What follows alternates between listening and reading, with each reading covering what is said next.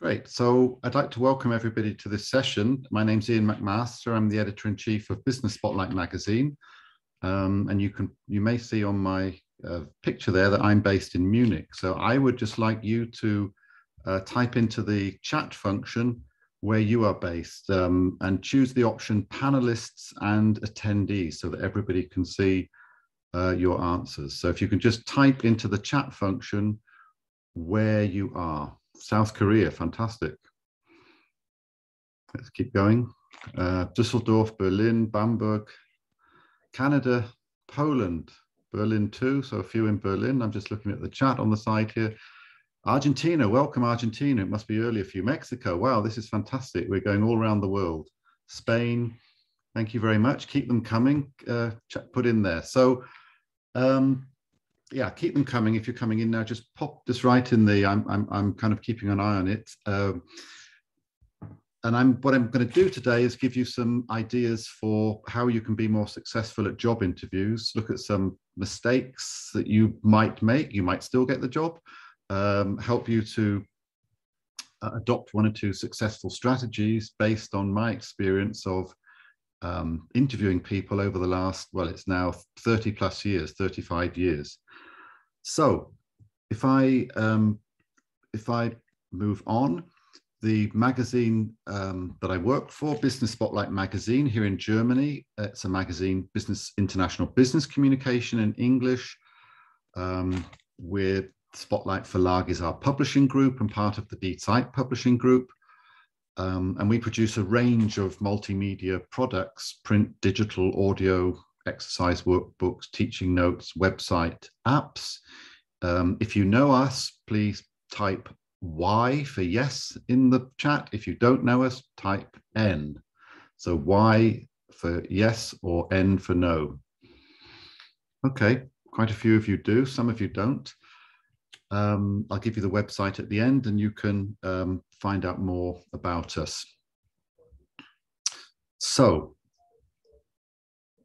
thank you very much. Yeah, keep yes or no. I'm going to ask you to do various things in the chat function as we go along to answer, to answer some questions.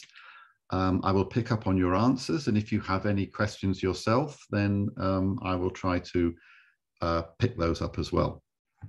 So, what's the plan for the next 25 minutes? Because we're going to stop at quarter to, oh, well, in 25 minutes time, that's quarter to six here in uh, Germany, or because I'm based in Munich. Um, what's the plan? The, the aim is to look at some successful strategies for applications and job interviews um, and to look at some typical mistakes and how you can avoid them. Actually, I forgot to say one thing. If I go back to this slide here, this is the current issue of our magazine. It's a special issue on career success. And um, on the cover, it says we have two free downloads of tips and language, uh, useful language for job interviews and job applications. So with the magazine, there's a web address in the magazine that you can download those two things free. I forgot to say that. So successful strategies, typical mistakes, um, and how you can avoid them and therefore reduce your stress and questions or comments via the chat function. Let's start with somebody who is a very memorable candidate. Um, he's the candidate I remember more than anybody else in the last 35 years because he said he said a sentence made up of 10 words. The first two were if I, and the last two were the job. Um, what did he say? What were the missing words? Maybe in the chat function, see if you can guess what he said. The sentence begins if I, it ends the job. So there are six missing words. If anybody wants to have a, uh, a guess in the chat function, what did this person say? What did he say? If I want to, I will get the job. Okay, nice one. Um, what did he say um, that, that it was so memorable uh, that even 30, some nearly 30 years later, I still remember you? Mm-hmm. If I were you, I would hire me for the job. That's interesting. Let's have another one. Anybody else? If I had known, I would have got. This is good. You're very good at conditional sentences. Uh, anybody else want to have a go? If I were you, I'd give you the job. You'd give me the job or give give him the job. If I Okay, interesting. Well, you're quite close, a number of you quite close, but you're also completely wrong. Don't be offended. What the guy said was this If I were you, I wouldn't give me the job. I wouldn't give me the job. Whoa. I am not suggesting that you should say that at a job interview. Um, but when he said that, it made me sit up and listen. I thought, this guy is interesting. That's an interesting statement. Hmm. Why did he say that? Well, certainly I was listening. So this is your first um, point about job interviews. Sometimes we make impact on people in surprising ways. I will repeat this. I am not suggesting that you say this yourselves. I just an interesting experience. Now, I'm going to ask you this question a number of times. And again, it's yes and no. My question is, do you think he got the job? Yes or no?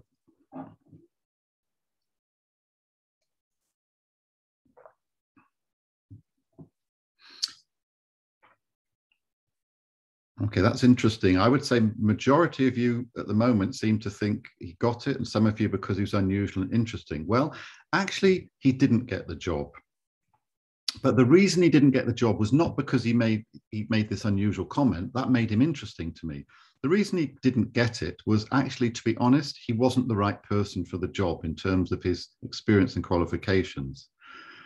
Um, and maybe he knew that, and that's why he said that but he realized he wasn't. It's an unusual thing. I've never heard it from anybody else. Um, but there we are. He made an impact on me. We make impact on people in surprising ways. Let's go on to another case. A candidate came um, for an interview, and I asked her about how well she knew our magazines. And this is what she said.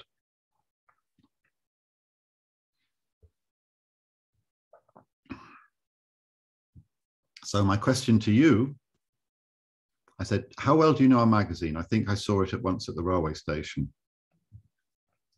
So, my question to you is the same question Did she get the job?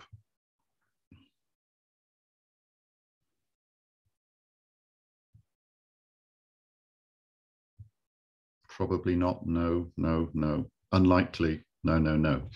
Okay. So yes, because she was honest. Yes. Well, again, you could say yes, she was honest, but um, I have to be honest with you and say that I wasn't very impressed by this comment.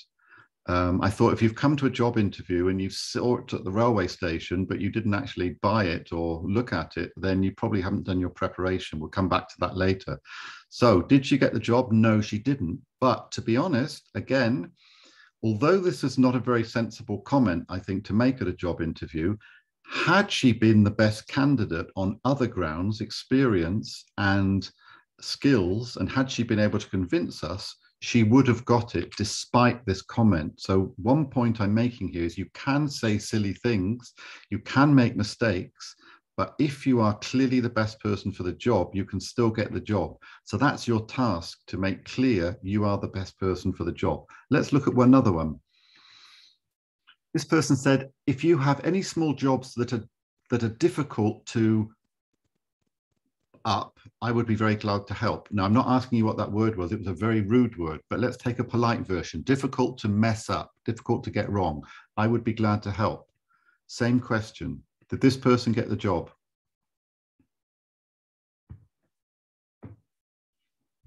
Okay, this, mm -hmm. most of you are saying no now. It was a very rude word. Um, okay, this is a trick one. This guy did get the job. Why did he get the job? Was because actually he was a student applying for a week's um, uh, work experience, a school child actually, school experience, work experience. Um, his mother had worked for us for a long time.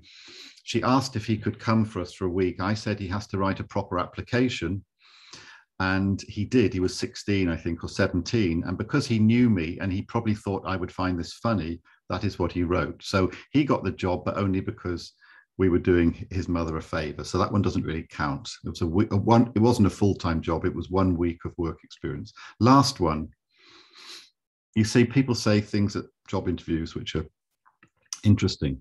So, person said, What can I do to make myself irresistible? What can I do to make myself irresistible? Did this person, this woman, get the job? Yeah, vitamin B with the other chap. Yeah, did this person get the job? Context is important, says Helen. Yes, context is always important. It's all about context and situation. So, to understand uh, the significance of any of these comments, you need to know the situation. So, with the previous one, you needed to know the relationship between me um, and this the, the young lad's mother. In this case, did this woman get the job by saying, "What can I do to make myself irresistible?" Who thinks she got it? Well, some of you do, some of you don't. Uh, okay, this one could have gone either way. In fact, she did get the job. Um, but why did she get the job? Anyone want to guess why she got the job? Why did this woman get the job?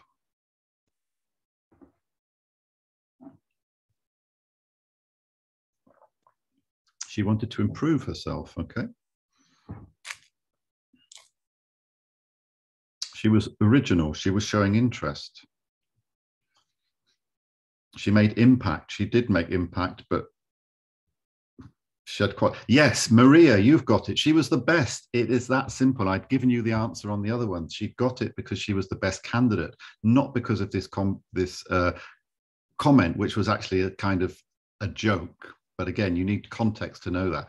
So she got it because she was the best candidate. So to repeat the first half of this thing. I've shown you examples of odd things people say that people make impact in different ways. And actually, the criteria is are you the best person for the job? And can you convince the interviewer, the interviewee, the interviewers, one or more, that you are? And that starts from your job app, your job application that you send, and it also how you um, how you perform at the job interview. So, 10 tips for success. Let's get cracking. We've got uh, eight, uh, 18 minutes to get through these. So first one is very obvious. Be prepared and be informed. So the lady who said she'd seen the magazine at the railway station. Okay, she was honest, but she was not well informed. She knew nothing about us. I did that when I was a student. I applied for a job about a company I knew nothing about. I didn't get the job. I had an excuse back then because that was 40 years ago. There was no internet. There is no excuse nowadays for not being informed and prepared.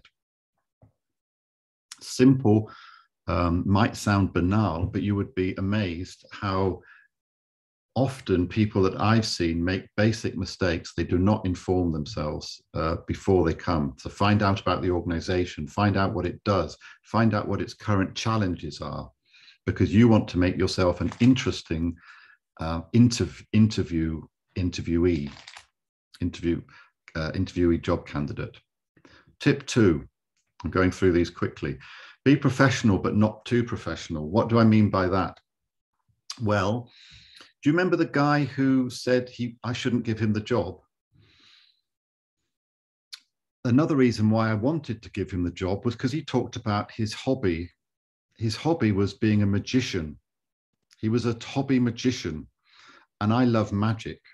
So we made a con. I would have loved to give him the job because I would have loved to have a magician on my staff um, who could make, for example, people disappear if they're annoying me or whatever. Okay, or just do some tricks to entertain me.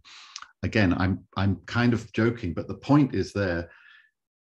You, of course, you have to be professional, but you want to also make some kind of connection to your um, interviewer. That's why personally, it's just a personal thing. I quite like people's when they have say something about their hobbies. I mean, reading books and watching, going to the cinema as we, you know, when we can, if they when they're open again, um, does not count as a very interesting hobby. But if you're something there that goes beyond that, um, you might catch the imagination of the interviewer.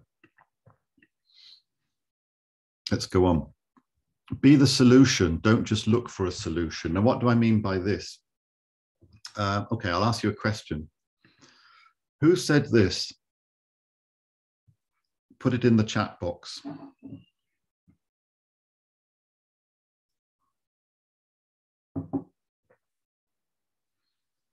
Okay, we've had one person, Kennedy, JFK. JFK. Okay, John F. Kennedy, yeah, former American president. What year did he say it in? What year did he say it in? This is a general knowledge test. Mm-hmm. We've had one answer, 1963, 62. Mm-hmm. When he was in Berlin, uh, 61, says Thomas. Okay, what month? You see, you, this is a serious general knowledge test here. What month? Summer, says Helen. Yes, it probably was summer, but uh, in Australia. It was January 1961 is in his inaugural address. Now, what's the relevance of that here? The relevance is that, um, in my experience, too many people at job interviews say why the job would be great for them. So, in our case, as a publisher of language uh, products, they'll say, I'd love to work for you because it would be great for me because I could improve my language skills and I've always been interested in languages and that there's of course it's good that they show interest but they're not telling us what they could do for us so on the Kennedy approach uh, rather than just asking what the company what a company or organization can do for you which is also important and nowadays in some uh, areas of the economy companies have to do a lot for the interviewees they have to fight for the battle, the war for talents. They have to offer good working conditions, flexibility, good pay. But you, as the candidate, there are other people applying for the job usually. You're not the only candidate. So you need to get across what you can do for the organization.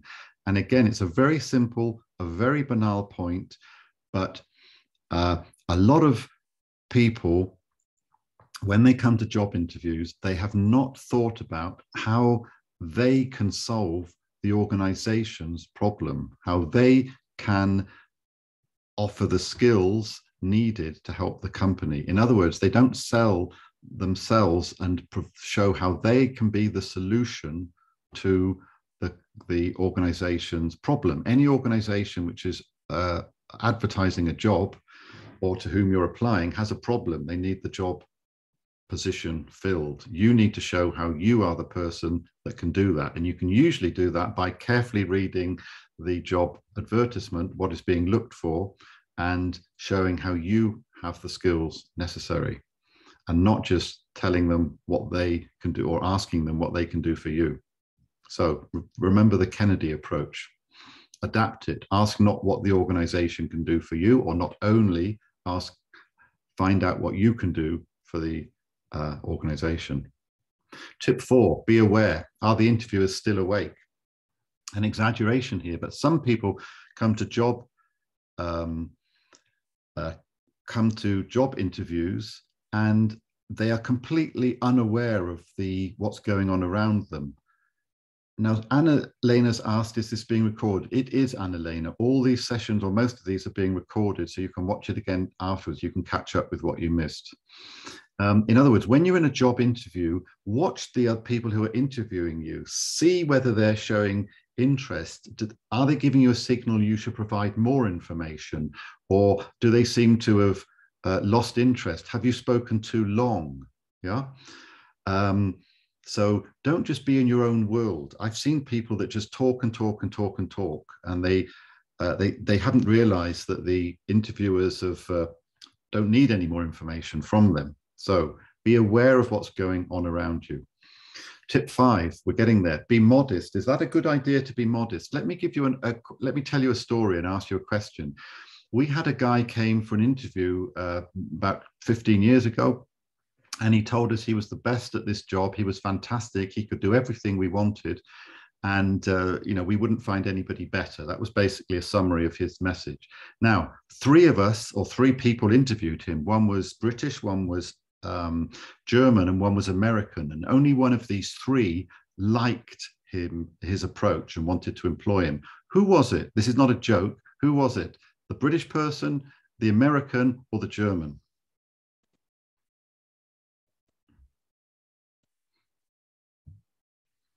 Okay, so looking at your answers, most of you've written have said the American, not all of you said the American. Now I'm going to guess why you said that. Um, I'm going to guess that you're saying you, you, you have a kind of cultural excuse me for saying this, but a cultural cliche in your minds that Americans are extroverts and like to sell themselves, and therefore they liked this approach. So forget your cultural cliches. It was not the American. Who was it? The British or the German?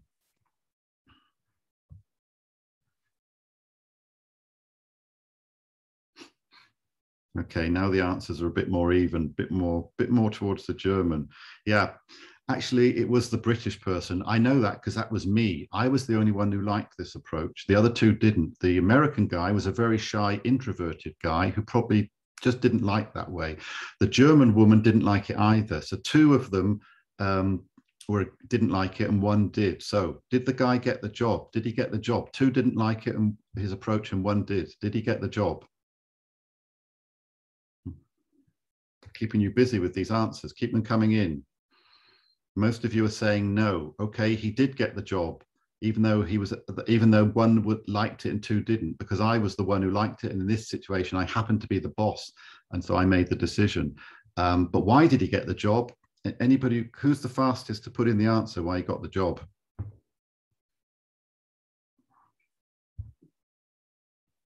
Why did he get the job? Exactly. He was the best. You've got it. You're what a great group you are. You've got it. That's the answer. He was the best by a mile. In fact, he was even better than he said he was when he came to. Uh, so, is modest really a good idea? No, maybe it's not. Yeah. In other words, don't be so. Don't be modest. Is a cultural thing. How we interpret it. You're there to sell yourself. You sell sell yourself in an attractive way. Obviously, not overselling yourself, but there's no. But and you could say his approach might have you, you only needed one more person instead of me who didn't like it and he would have been out and that would have been a shame because he was really good. How do you find out who the best? Because you're looking at everything. You're looking at their application you're looking at their experience you're looking whether they can answer questions and you want to know um, can they provide evidence or not evidence of uh, can the information that suggests they can do the job? Do you know? Ultimately no you don't. You don't know until somebody actually does the job whether they're good enough or not you never know. This is a mistake people make in their job applications and in interviews. Uh, what they uh, it's yes, it can be difficult to get your first job. It's always difficult. It's chicken and egg. You need to get started to get experience. If you don't have job experience, you need to get experience of voluntary uh, work or other things, or summer jobs, or part-time jobs, or whatever, just to get started. Um, do we hire candidates with no experience? Um, it depends on the job. Some jobs you can do, other jobs you wouldn't do. Tip six, what do I mean here? People often describe their jobs. They say, I was the marketing manager and uh, this was my responsibility, but they don't say what they actually achieved. So I don't want to just a description of what your job title was or what your responsibilities were. I want to know, or you know, in, interviewers want to know what did you actually achieve? So look at if you if you if any of you have a um, you know you have a job you have a written job application you know your uh, your cv your covering letter look at it closely. Does it say what you actually achieved in your previous situations and not just describe what you were supposed to do?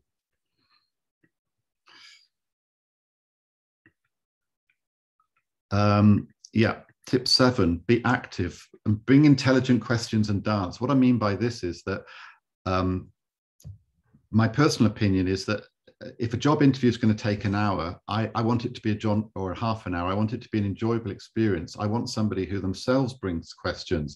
And what I mean by a dance is it's a kind of a dance between the interviewer and the interviewee. You're reacting to each other. You know, you're not just sort of static. You're not just sitting there you need to take part in the interview. You need to shape the interview through your questions and through your answers and create a dynamic between you. I'm not suggesting you actually physically stand up and dance, uh, it's a metaphor.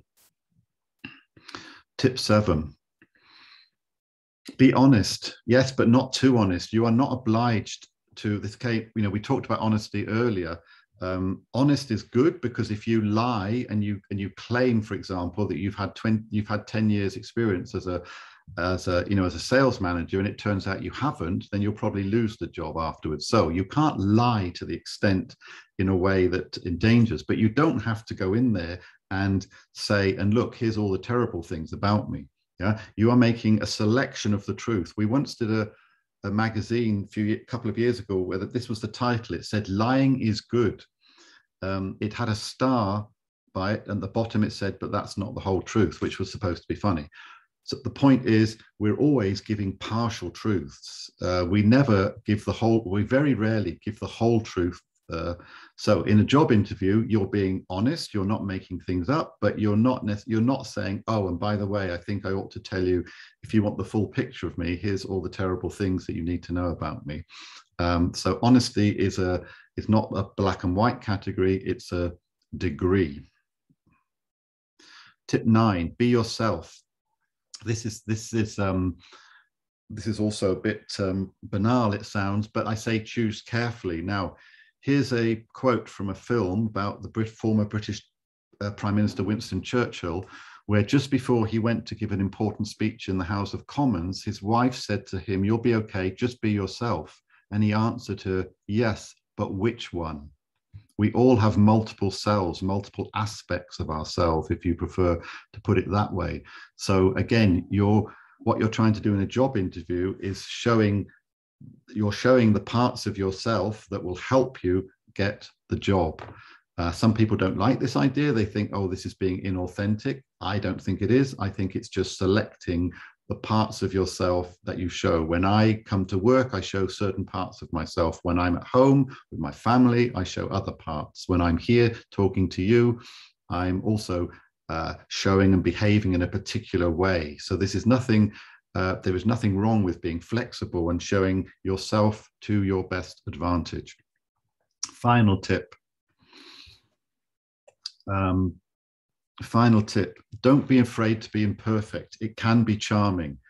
Um, for example, in the area of language, unless you are applying for a job as a professor, let's say, of English, when you're applying to work in an international situation and English is not your first language, it might be a job, it might be an internship or whatever, then what's important is not that your English is perfect according to a textbook model, it's that you communicate effectively, that you get your message across. So if I look at this example here, if somebody said in a job interview, last year we have increased sales by 30%, and let's assume it's true, it's not a lie, um, and uh, then we could look at this in different ways. You know, we could think, oh, that's very impressive. And the person says we, doesn't say I. So it's includes inclusive, thinking of their whole team. Uh, that's good. Now, if we were being very, if we were uh, trying to be sort of very like a professor, we might say, well, hang on, this is not the right tense. Last year, it should be the simple past. We increased. It really doesn't matter. That is not the kind of we don't need grammatical perfection. What we need is you, we, you need to sell yourself, communicate effectively. And when you're speaking in a language which is not your first language, uh, or even when you are speaking your first language, but particularly when it's not your first language, don't worry about grammatical or linguistic perfection communicate your message. Um, you're communicating, you're not trying to, at this, you're not trying to pass an English test, usually in a job interview. Okay, we have one more minute, I think, so I'm going to give you a bonus tip. How about that? It was prepared. Um, and the bonus tip is uh, just something for you to go away think about. That's all I'm trying to do. Give you things to think about how you um, how you present yourself be attractive. Now, I'm not talking here about physical attraction. I mean, you know, to be honest, human decisions are made on all sorts of basis, including our reaction when we see somebody. I don't mean that. What I mean is make yourself the kind of person and present yourself as the kind of person that other people will want to work with. So make yourself attractive in that way. Other people some are taking decisions here on whether they want to work with you. Your job is to help them make that decision and to offer you the job. And the last slide here is simply my contact details. Uh, I just wanted to point out for uh, that I, um, having been doing this job for 20 years now, I uh, finish at the end of November and as editor in chief of Business Spotlight, and my successor Judy Gilbert, uh, Judith Gilbert uh, is taking over from me. So uh, my email address is there, hers is there. And I'd like to thank you all very much for coming and for taking part so actively in the chat. And I think we finished pretty much on time. So um, I'll leave it there and say thank you very much to you all and enjoy the rest of the conference.